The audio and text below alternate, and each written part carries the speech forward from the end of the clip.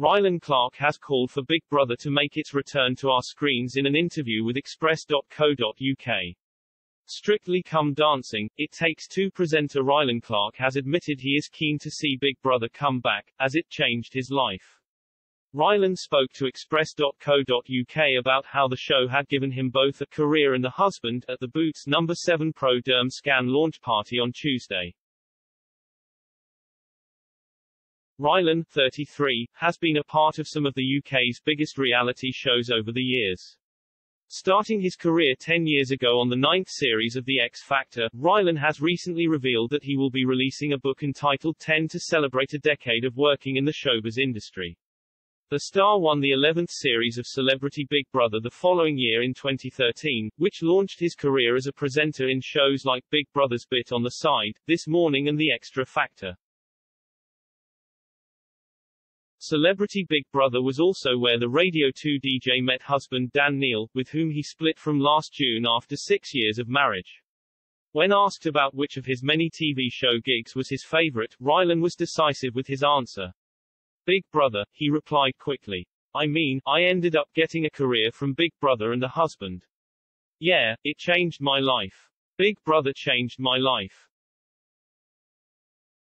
Rylan was then asked whether he would like to host the show if it did make a return to our screens. That wouldn't be up to me, but Big Brother needs to come back, he replied. Rylan doesn't seem to be alone in this regard, as one of his recent Twitter posts proved fans of the show were still eager to see its return. Last month, Rylan teased the announcement of his new book, telling his 1.7 million Twitter followers, little announcement 6 p.m., I'm not pregnant, sick. At this, Marcus Bentley asked, Is Big Brother coming back? While Wah commented, Is Big Brother back? The world needs it. Big Brother coming back OMG yes I knew it. Dave wrote excitedly. After plenty of similar guesses, Rylan was forced to dispel the notion, confirming, not Big Bro related sorry. Trust me I wish it was X. Elsewhere in the interview, Rylan suggested that his honesty under the public eye has helped him keep his career, although being under the spotlight has sometimes been tough on his mental health.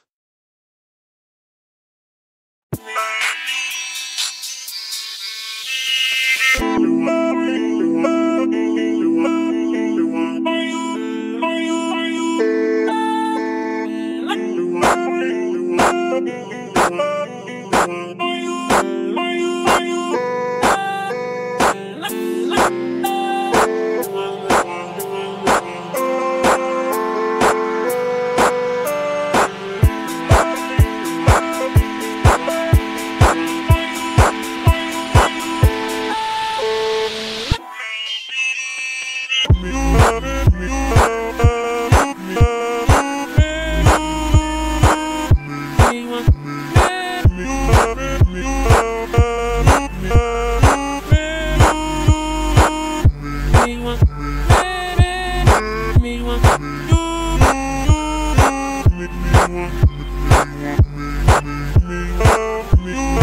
you.